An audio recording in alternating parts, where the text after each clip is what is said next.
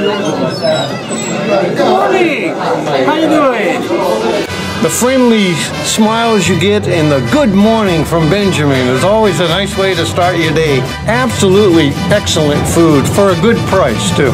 We've been coming to Paraiso's for about 10 years and we've never had a bad meal. I love Paraiso's because it's a family environment and it's a small hometown,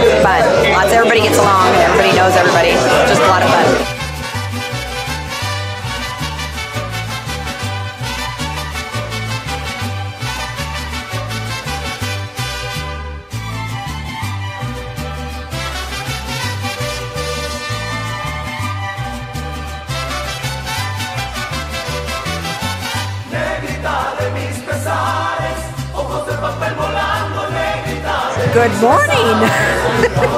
Good morning.